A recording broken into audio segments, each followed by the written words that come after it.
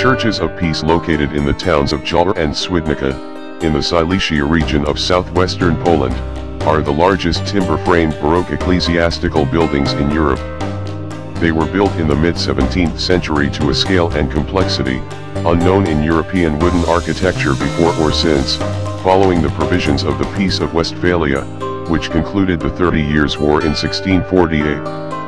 The terms of the peace treaty effectively eradicated the evangelical church, in the Silesian hereditary principalities directly controlled by the Holy Roman Emperor, Ferdinand III. The evangelicals, who constituted the majority of the population in these areas, were deprived of the religious freedom, they had hitherto enjoyed and lost almost all of their churches. It was only courtesy of Swedish diplomatic intervention, that permission was granted to build three churches.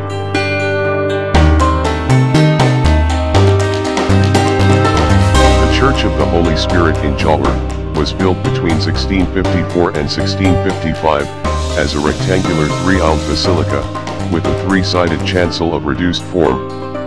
The Church of the Holy Trinity in Swidnica, was built between 1656 and 1657, as a three-aisled basilica with a Greek cross ground plan. The third of the churches of peace allowed under the Peace of Westphalia, was built in Glogau in 1652, but burned down a hundred years later.